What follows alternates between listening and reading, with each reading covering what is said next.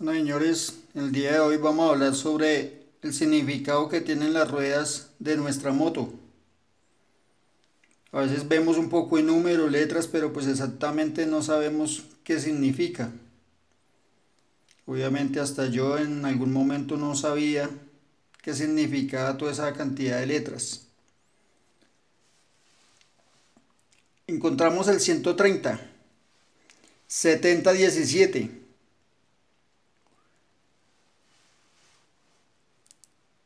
La R muchas veces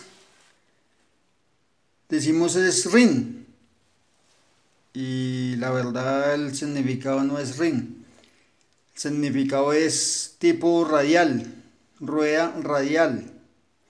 Entonces el significado del 130 es el ancho.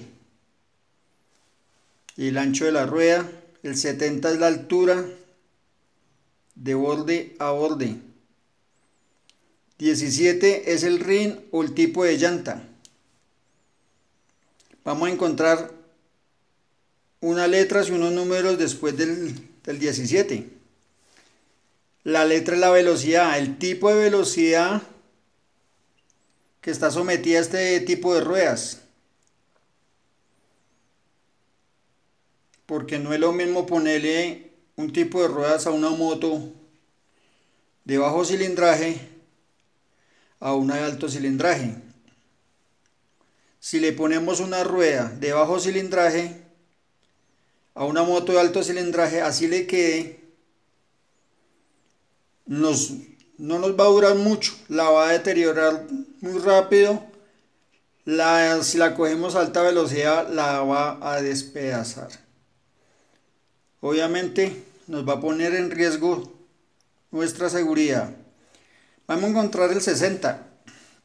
Y el 60 es el peso que va a resistir ese tipo de rueda. Obviamente no todas las ruedas dicen 60. No todas las ruedas dicen B, que B es la, como la calificación que tiene este tipo de ruedas. Porque hay otras que es L, M. Eso, nos, eso ya toca buscarlo en una tabla que nos, nos indique qué tipo de letra nos indica la velocidad. Dependiendo de la letra, cambia la velocidad. Lo mismo el 60. Hay una que dice 82, hay unas que dice 50. Entonces, estos dos sí varían mucho, dependiendo el tipo de rueda que vamos a utilizar. Encontramos una T. Esa T significa tuve. Como quien dice sello TL, tueles con manguera. Como quien dice, no es sello mati. Vamos a encontrar unas, en una parte vamos a encontrar 1, 2, 3, 4 o, o así como está acá, 1, 2, 4, 5 con unas letricas al lado. Eso es el tipo del, de lonas que tiene nuestra llanta, la fabricación de que está compuesta, los tipos de materiales que tienen nuestra llanta. Encontramos una flecha. Esa flecha significa el sentido de giro. No podemos poner la rueda, si la moto va hacia adelante, la, rueda, la flecha tiene que ir indicando que va hacia adelante no la podemos poner al revés porque si no el desgaste es prematuro y se nos va a desgastar escaloneadamente. Escaloneadamente significa que por un lado está buena y por el otro lado ya se gastó. O aquí está buena, aquí ya se gastó, aquí está buena, aquí ya se gastó y así sucesivamente. Eso se llama escaloneada. Vamos a encontrar algo muy importante en la llanta. DOT y unos números. El DOT es Departamento de Tránsito de Estados Unidos. ¿Qué significa ese DOT? Ese DOT es el que le da, así como aquí en Colombia el ISO 9001. Allá es el DOC, el que certifica que el tipo de llanta o el producto es de óptima calidad. Entonces ubicamos el DOC. Vamos a encontrar unos números. ¿Qué significan? Esa es la fecha de fabricación de nuestra moto. Perdón, de nuestra llanta. Dice 1419. ¿Qué significa? El 14. La semana 14 del año 19. Entonces empezamos a contar. ¿Sabe que un mes tiene cuatro semanas? Entonces la 14 sería, sería el 15 de abril. Esa es la, la 14 semana sería en el abril, la segunda semana de abril. El 15 de abril del 2019 fue fabricada esta llanta. A partir de esta fecha vamos a contar 5 años, sea que la compremos. Si la compramos, vamos a verificar esta llanta. Si tenemos guardada la llanta, verifiquemos esta llanta. Si la vamos a comprar, verifiquemos esta llanta. Que tenga bastante tiempo de uso. Porque digamos, si nosotros en este momento estamos en el 2023, vamos a comprar una llanta y la llanta tiene esta fecha, entonces a partir de esta fecha vamos a contar 5 años.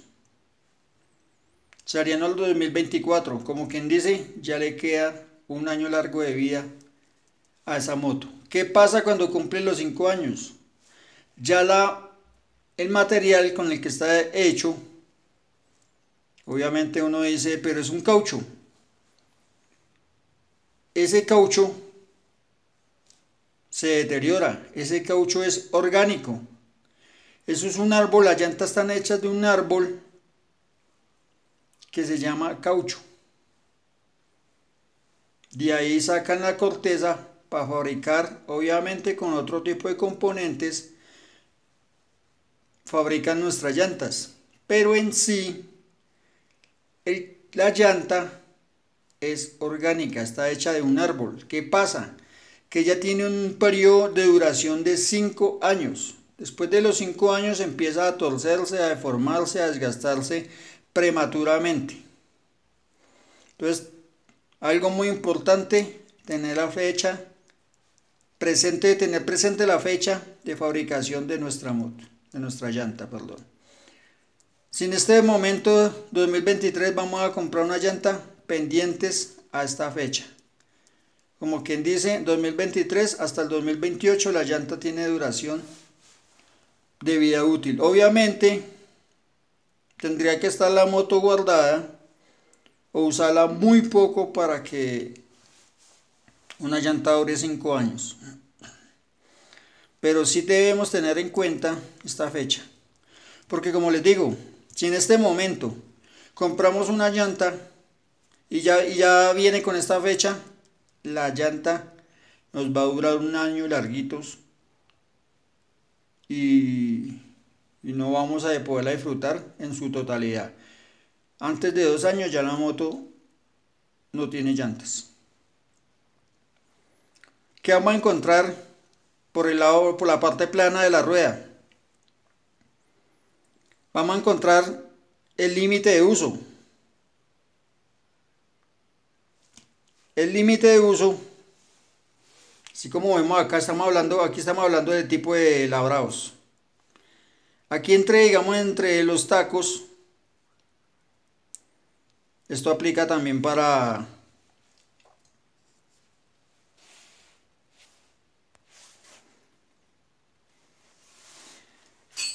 Aquí en medio de los tacos vamos a encontrar una rayita. Por debajo del nivel, nosotros pasamos la mano. Haga de cuenta aquí, como vemos este plástico. Pasamos la mano. Y aquí en esta parte vamos a encontrar una rayita. En varias partes vamos a encontrar una rayita. ese es el límite de uso de nuestra llanta.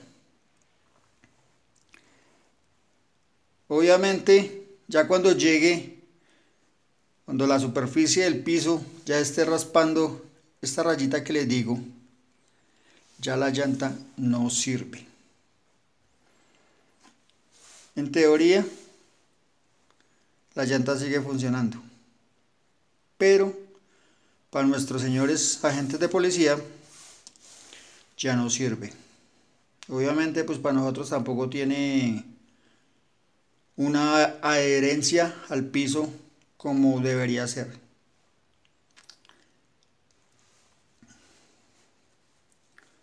Entonces, pendientes ese testigo, el límite de uso de una llanta ante el organismo de tránsito es un milímetro. Obviamente, la polémica de, de muchos casos de que como a no podemos verificar ese milímetro. Existe una tipo de herramienta que se llama profundímetro o calibrador de profundidad. Él se encarga de medir la profundidad de las llantas cuántos milímetros viene nueva. Hay unas marcas que vienen con 8 milímetros, 7 milímetros, 6 milímetros, dependiendo la calidad de la llanta. Entonces el límite ya lo que no nos sirve al organismo de tránsito, porque como les digo, la llanta como tal sigue funcionando, pero ya para el tránsito no es útil ese tipo de llanta ya con ese desgaste, es un milímetro. Entonces, si podemos, podemos comprar, esto no vale mucho, podemos comprar este, esta herramienta y la tenemos en nuestra casa para conocer el límite de servicio de nuestra llanta.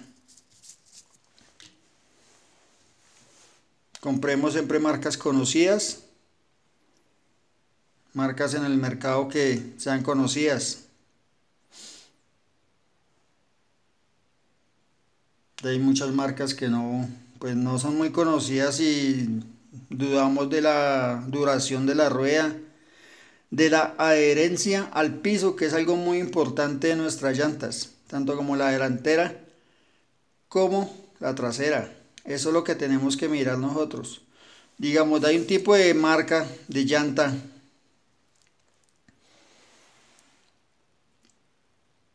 es muy dura Dura muchísimo esa llanta. Pero la adherencia al piso, que es lo que debemos tener en cuenta al momento de comprar llantas, es muy mala. Lo que debemos tener en cuenta es de que algunas llantas son pésimas al momento de tocar la humedad. son pésimas para la adherencia en seco. Duran bastante, pero eso para que se adhieran al piso es algo complicado. Más fácil nos resbalamos que, que se adhiera esa, ese tipo de ruedas al, al piso.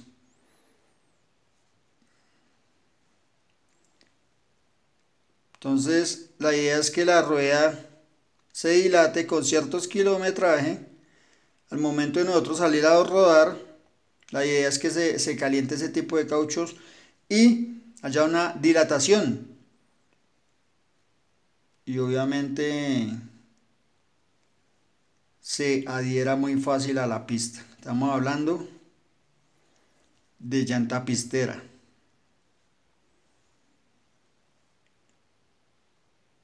Porque la idea es de que haya una buena adherencia al momento de, nosotros rodar, sobre todo en las curvas, que haya buena adherencia.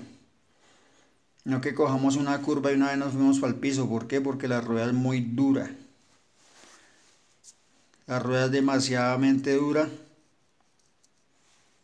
y no hay una buena adherencia. La rueda no se calienta lo que necesitamos. Ella se calienta pero después de 100 kilómetros.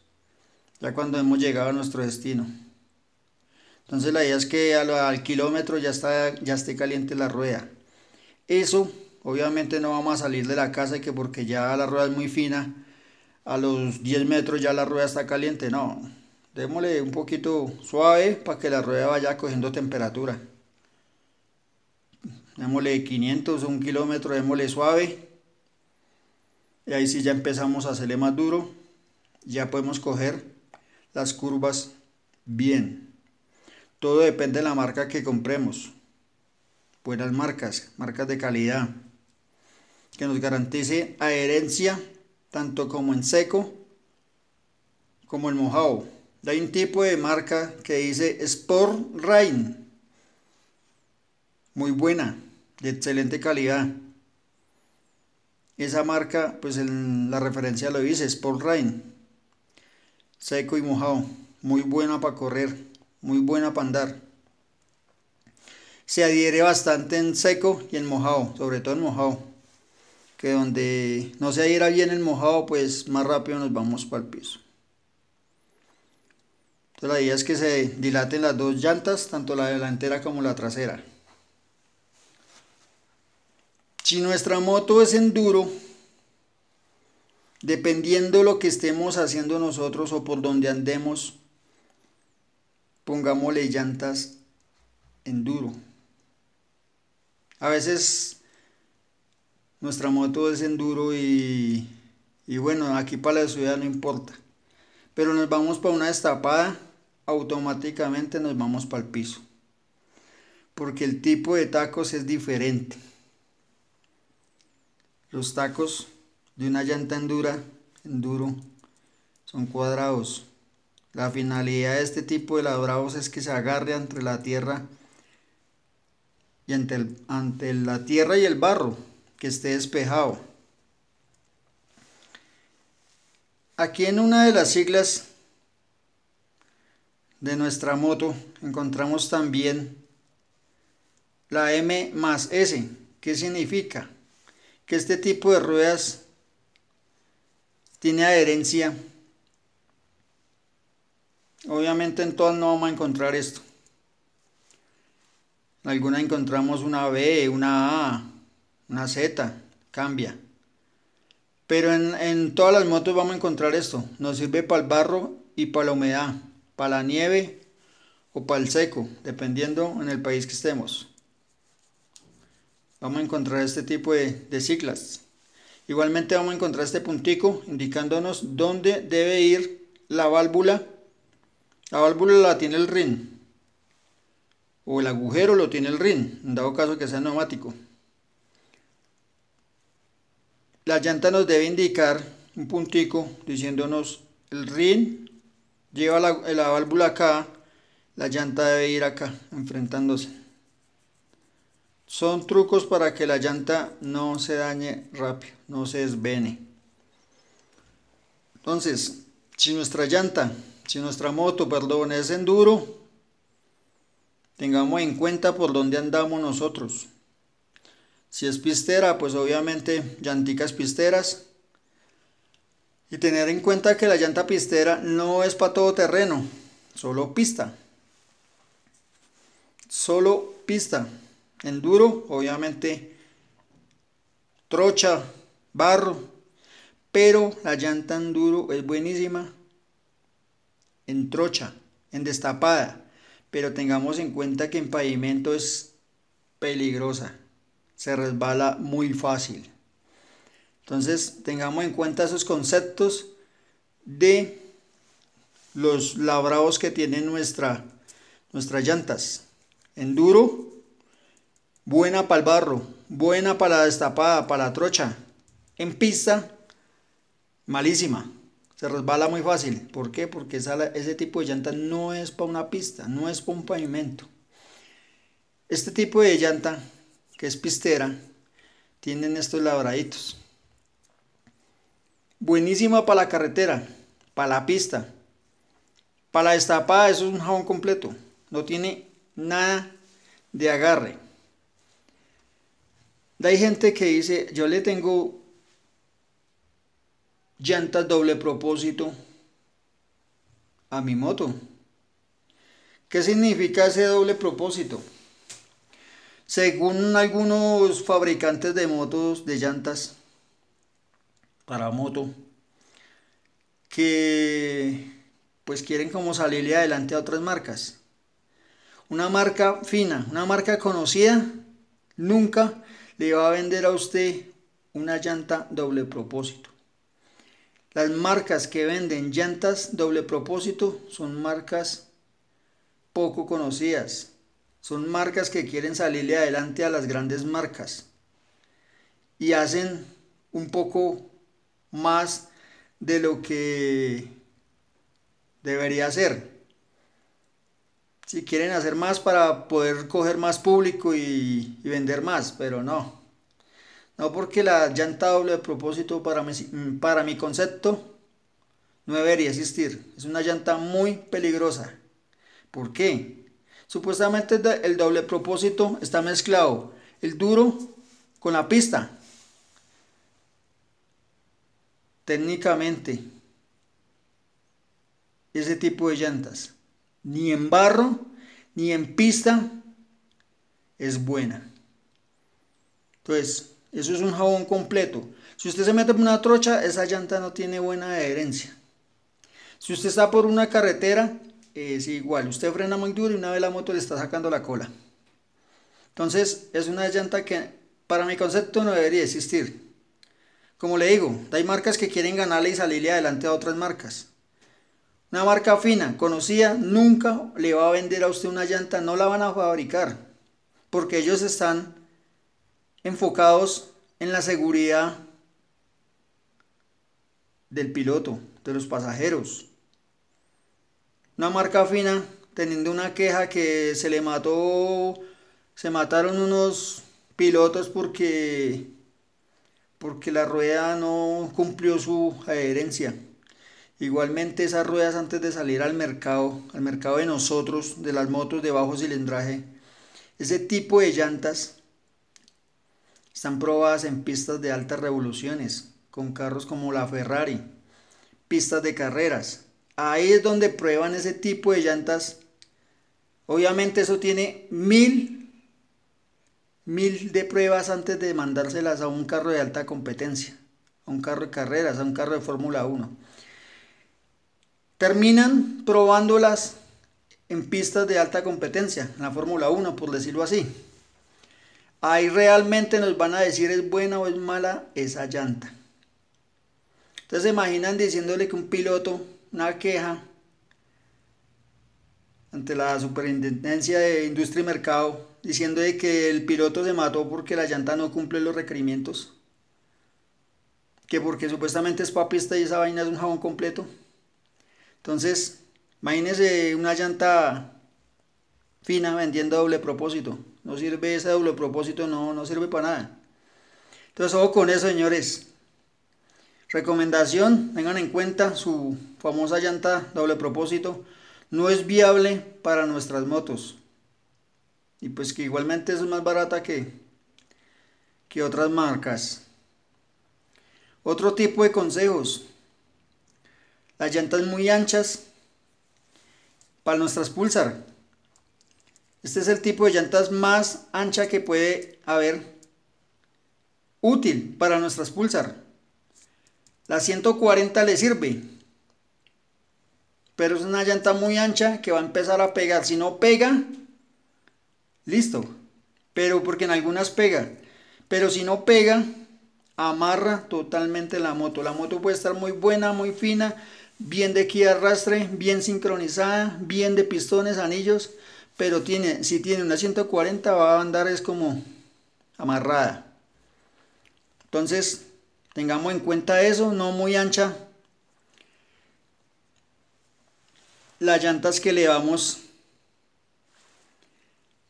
a instalar a nuestra moto. Otro puntico con las famosas doble propósito. ¿Qué pasa? Lo que yo les decía, este tipo de labrados Está diseñado para el barro, para la trocha, para el destapado. Este tipo de llantas es para la pista.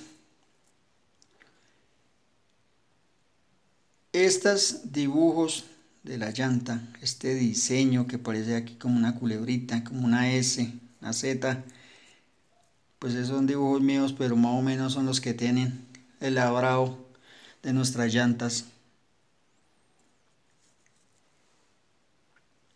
Esto no es que el ingeniero de las llantas le pareció muy chistoso hacerle esas, esas figuritas. No, esas figuras tienen un propósito. ¿Cuál es el propósito de esas figuras en nuestras llantas? El propósito de nuestra llanta, algunas tienen una figura así.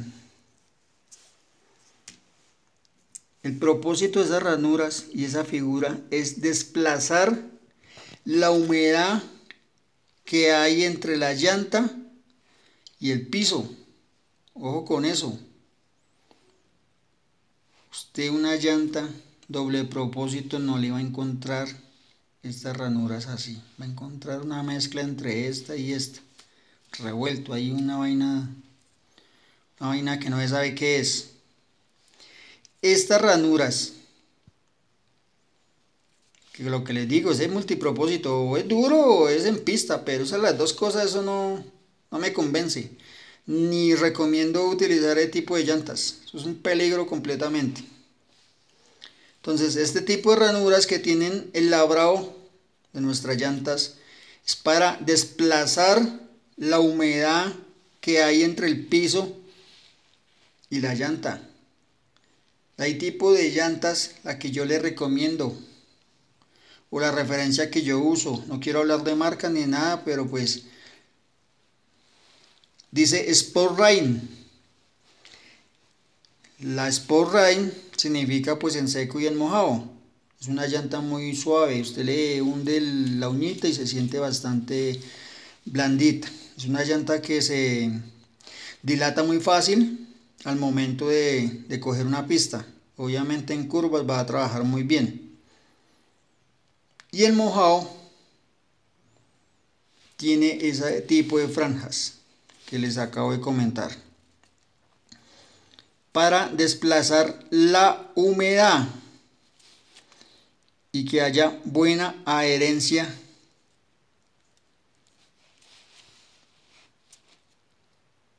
Este es el labrado que yo les digo de, de las llantas que yo utilizo. El agua va a pasar por la canal y estas ranuras que están hacia afuera va a coger y va a expulsar el agua hacia los lados, permitiendo que no haya no haya un desliz con el agua, que no se resbale, no se deslice la rueda. Algo que debemos tener en cuenta es, para el cuidado de nuestras llantas también es manejar una buena presión adecuada, 30 o 32 o 28 según lo que nos diga la llanta o lo que nos diga el manual o si andamos acompañados o andamos solos. Cambiamos el líquido hidráulico a las barras. Mantengamos bien las barras para que trabaje bien nuestra llanta también. Porque si la suspensión está muy mala, si el líquido no se lo cambiamos hace tiempos, nos va a dañar la llanta. Bueno, señores, espero el video les sea de gran ayuda. Muchísimas gracias. Hasta un próximo video.